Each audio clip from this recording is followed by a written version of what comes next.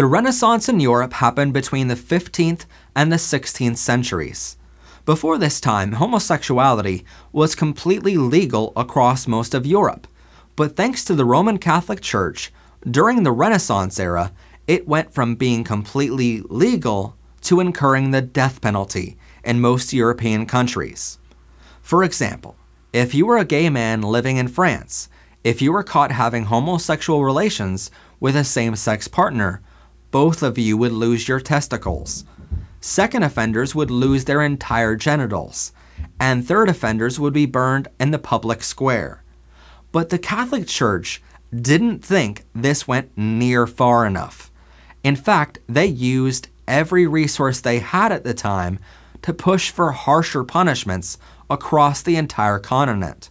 During the Spanish Inquisition in 1480, being gay meant you were stoned, castrated, and burned.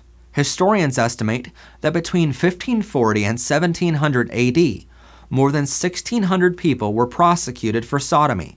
But in 1532, the Holy Roman Empire made sodomy punishable by death, which many European countries followed. In England, King Henry VIII passed the Buggery Act of 1533, which made sodomy against the law and punishable by death.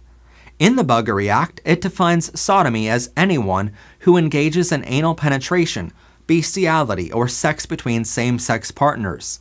Yet again in history, homosexuality was put right alongside something completely different than homosexuality.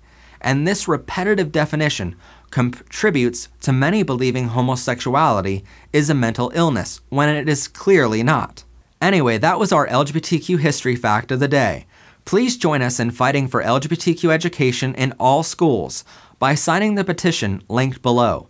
While you're down there, consider supporting our show by checking out our Pride Academy student collection in our merchandise store. Don't forget to like this video, comment your LGBTQ friendly thoughts, hit that rainbow subscribe button so you don't miss out on new episodes of the show, and share this video with others.